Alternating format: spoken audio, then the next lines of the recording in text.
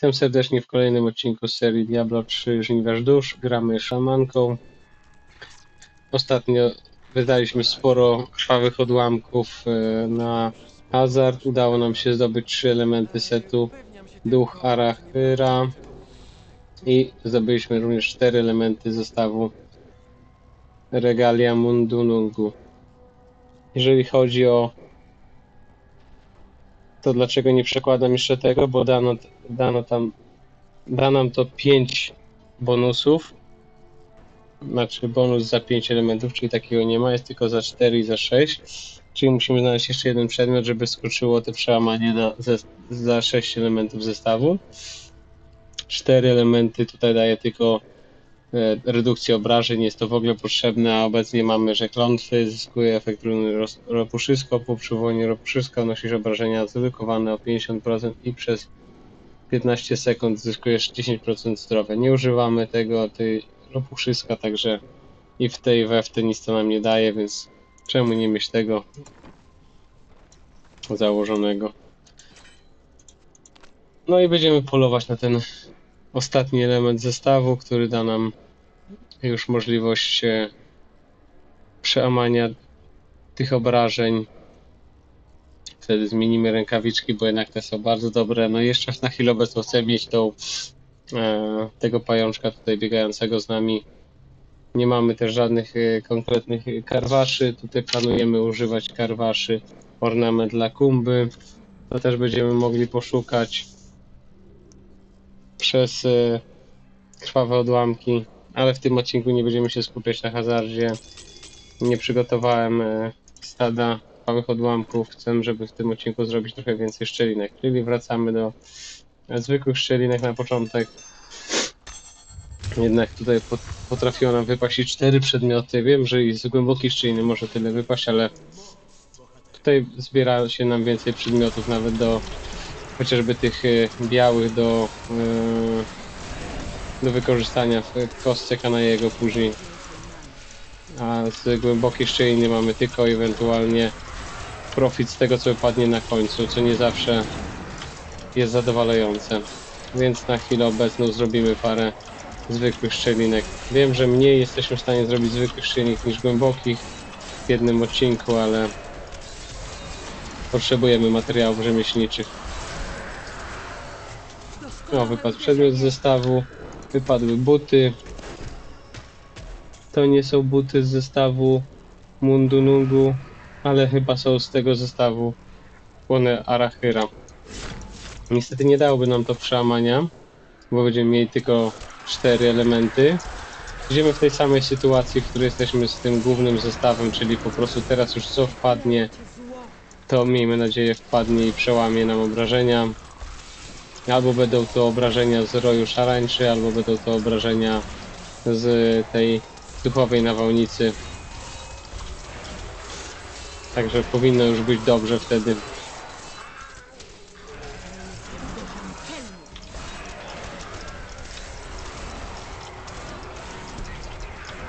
A na pewno jak nie idealnie, to przynajmniej powinno się to zmienić w dobrym kierunku. Powinniśmy wtedy móc robić co najmniej ten 10, 12 poziom udręki. A co za tym idzie? Więcej dropu, szybciej, większa szansa na znalezienie upragnionego przedmiotu zestawu. Jeszcze zanim przejdziemy na kolejny poziom, podobijajmy trochę tych potworków tutaj. Strasznie dużo jest tutaj grup y, z czempionami. Opłaca się po prostu zostać i takie grupki powykańczać. Na następnym poziomie może czekać na nas bardzo mało grup, więc będzie wolno leciał pasek. Już widzicie, już mamy 56%.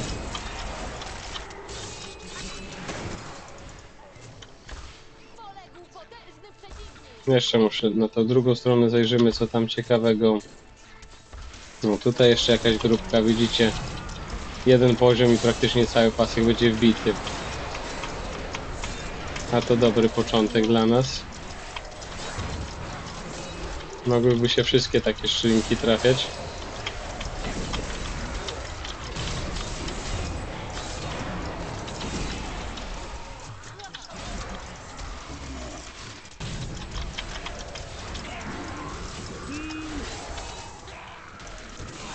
To jest jedna z tych planż e, głębokich szczelin, w których możemy naprawdę zrobić cały pasek na jednym poziomie.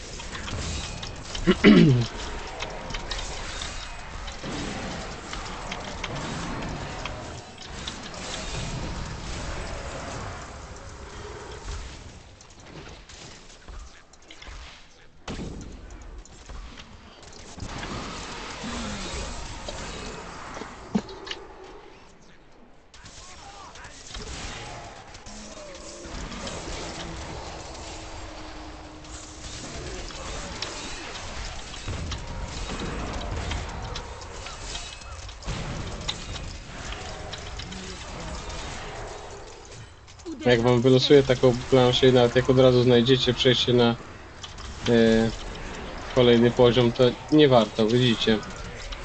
Jest to rewelacyjna prędkość jak na e, naszego, naszą szamankę. Już mamy 100%, mamy strażnika. No, super początek odcinka. Przywołujemy wszystkie moce, wszystkich pomocników. Wszystkie aury załączamy i mamy dwuręczny miecz i topór. Czyli dwa przedmioty legendarne z jednego bosiora. Przenosimy się do miasta, oczyścimy skrzynkę, zobaczymy te buty. I tak mamy te 30 sekund e, przerwy, jak się zamyka jedna szczelina. Zobaczmy, tak. Jak ja mówiłem, jest to duch Arachyra. Także zestaw, który daje nam bonus do y, szarańczy. No i mamy taką patową sytuację. Mamy po cztery elementy obu zestawów, czyli nie możemy skompletować jednego w pełni sił. Musimy jeszcze popróbować. No dobra. Obczyśmy skrzynkę. Zobaczmy ile wpadło uniwersalnych części. Mało, ale nie zawsze się udaje.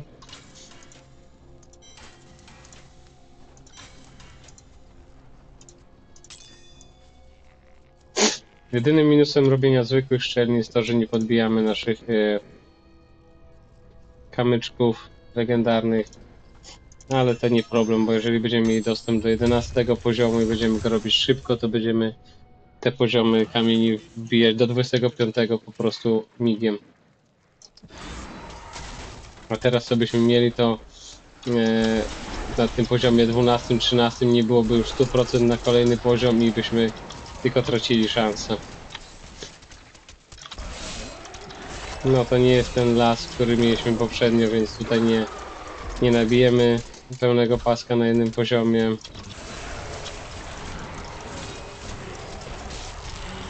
No zobaczymy, czy trafi się nam jeszcze któryś z tych przedmiotów zestawu. Już teraz nas nie interesuje, który zestaw przedmiot trafi się, bo jeden i drugi będzie wtedy już kompletny bonus i będziemy mogli naprawdę przetestować siłę te, tego szamana, a w zasadzie szamanki.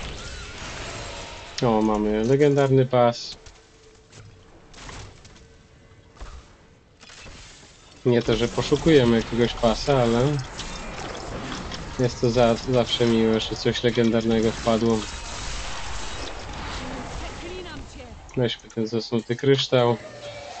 Zawsze nadmiar możemy przerobić na uniwersalne części.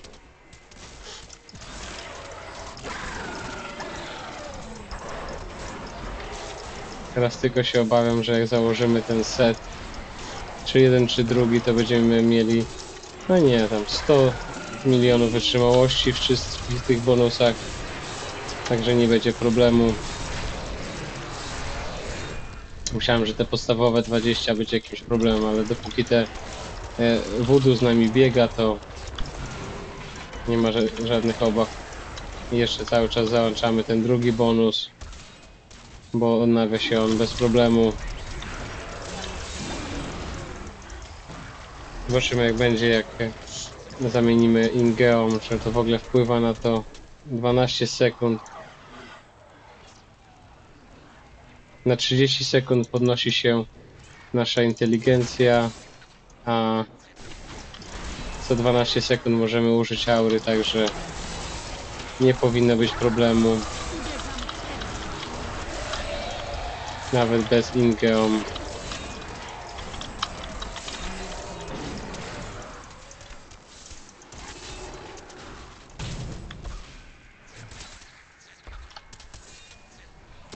Jeszcze trochę czasu.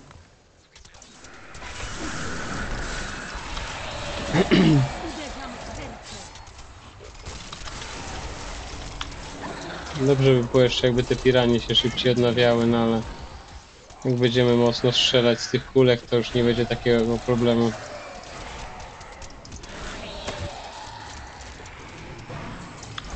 No i widzicie, ta plansza trafiła się, ten sam poziom trudności, ta plansza trafiła się z takim mniej obfitym w, w czempiońskiej grupy zestawieniem i dużo dłużej to trwa. A nie jest to wina tego, że zadajemy mniej obrażeń, czy poziom trudności się zwiększy. Jest to po prostu e, takie gorsze losowanie, tak? Przeciwników. Także prędkość pokonywania też zależy od tego, co nam da los i jak się plansza ułoży. Niestety nie jest to aż tak wybalansowane i naprawdę ten sam poziom strzeli możemy robić w 3 minuty, a możemy robić i w 7. Będziemy mieli dużego pecha. Topór legendarny. Kolejny przedmiot, czemu nie? Zbieramy co wypadnie. Domo toporem nie będziemy się posługiwać, ale zawsze to kolejna e, zapomniana dusza do naszej kolekcji materiałów rzemieślniczych. I uniwersalne części oczywiście podnosimy wszystkie. Już prawie zapchał nam się plecak, to nic. Przywołujemy u- voodoo. Te voodoo już trwa na tyle długo, że potrafi się odnowić zanim e, się skończy, także dobrze. Pozwoli to nam w takim większym spokoju pokonywać szczelinki. Rozwalamy wszystko co stoi. Niszczone przedmioty dodają prędkości, przypominam. Więc warto jest je w takim zbiorczym e, uderzeniu rozwalać, bo im więcej ich rozwalimy, tym większy bonus do prędkości się załącza. Skrzynki oczywiście otwieramy nie tylko po to, żeby trafić przedmioty e, białe, ale też po to, żeby... O, mamy zwędziuchę w międzyczasie. Super. Ale jeszcze skrzynki otwieramy, bo mają dużo większą szansę na legendarne przedmioty. Im wyższy poziom e, szczeliny, tym po prostu z każdej skrzynki nam coś wypada legendarnego praktycznie. A już szczególnie z tych dużych złotych skrzynek. No i mamy w międzyczasie wpadło nam cały pasek i przywołał się strażnik szczeliny Dusiol. Ma sporo życia, także chwilkę to potrwa zanim go ubijemy. Atakujemy go i szarańczą i kuleczkami tymi z nawałnicy. Z niego niestety nic nie poleciało, tylko 77 krwawych odłamków. No ale dzięki zwędziuszce mamy już 439. To jest dobry motyw, bo możemy spróbować z butami. I nie przedłużając od razu to zrobię, tylko oczyszczę skrzynkę.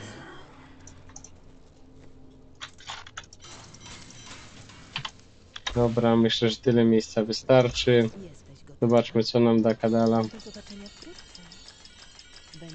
Mamy coś zielonego.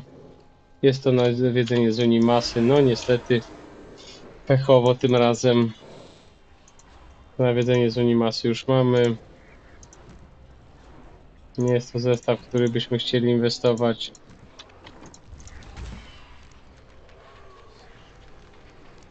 Może zróbmy sobie tą jedną próbę kostcyka na jego. Już myślę, że zebrało się wystarczająco materiałów.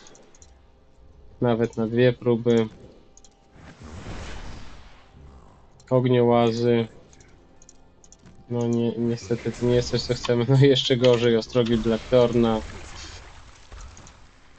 No cóż. Mm, pousuwajmy wszystko.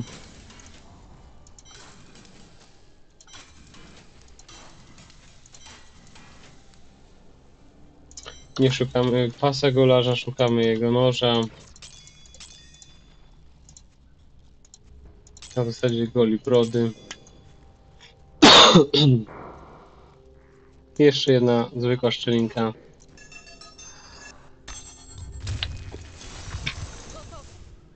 Trzymamy kciuki, żeby się trafiła z wędziucha.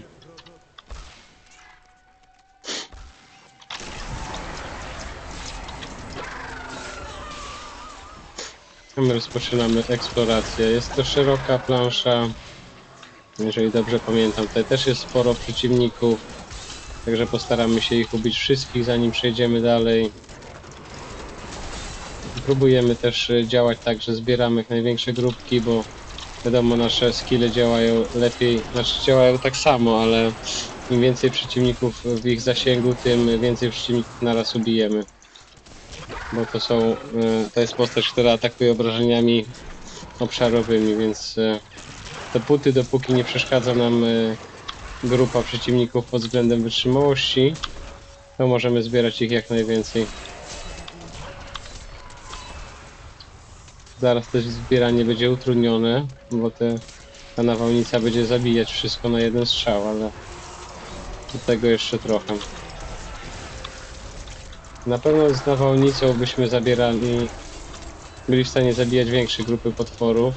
Szybciej, czyli ten zestaw pod nawałnicę będzie lepszy dla nas, dla szybkości rozgrywki, ale już myślę, że ta szarańcza też da możliwość tego chociażby poziomu 12.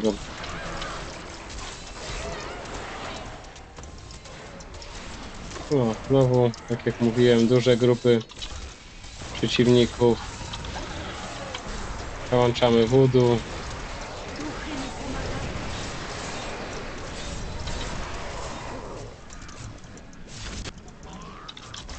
Już blisko połowy paska.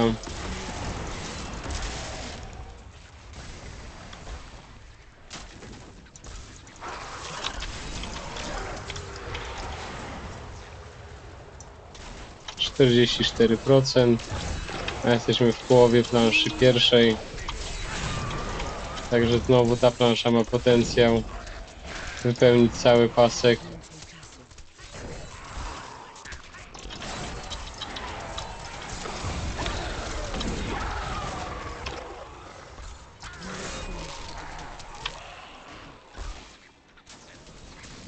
No niestety tylko 52% udało się ubić. To już będzie przejście, zgadza się. No i trafiliśmy na trochę mniejszą planszę, się tak wyrażę. Tutaj jest więcej tych totemów, także coś za coś. Więcej materiałów rzemieślniczych, ale gorzej jeśli chodzi o nabijanie paska. Weźmy tą e, ten obelisk mocy, nie dlatego, że chcemy się wzmocnić, ale dlatego, że wypadnie z niego grupa czempionów i podbije nam trochę poziom. Tutaj taki trochę labiryncik się trafił, ale myślę, że damy sobie z tym radę. Otwieramy oczywiście skrzynkę. Czy będzie coś w niej dobrego, czy nie. Jest to zawsze kolejna szansa na coś dobrego. I zbieramy wszystkie białe przedmioty. Mamy jakiegoś goblina gdzieś w pobliżu. A tutaj był goblin skarbnik, czyli tylko liczymy na kasę. Może jakiś przedmiot legendarny. Niestety tylko nawet nie było kasy z niego.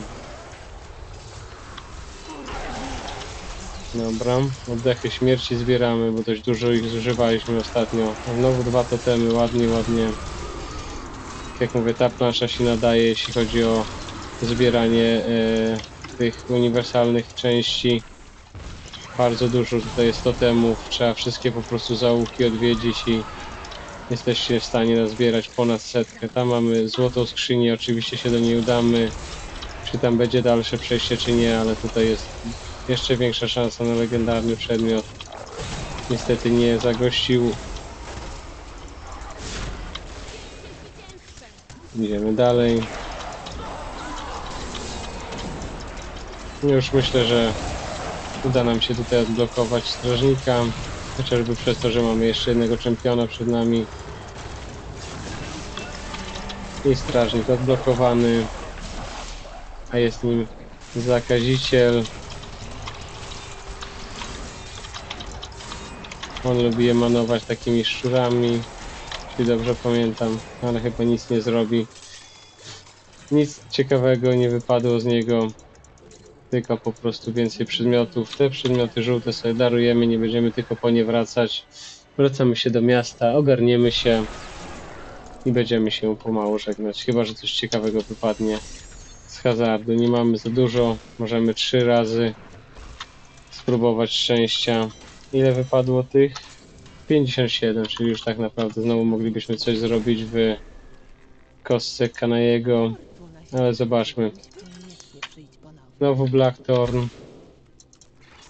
A u niego znowu raki. No niestety nie było happy endu w tym odcinku, ale jesteśmy jeszcze bliżej pozytywnego ukończenia tego buildu. Który przedmiot nie wpadnie, na pewno pomoże nam w bardzo dużym stopniu. Zapraszam na kolejny odcinek już jutro. Jeżeli chcecie być na bieżąco, subskrybujcie kanał, jeśli się podobało, zostawcie lajki i do następnego. Pozdrawiam.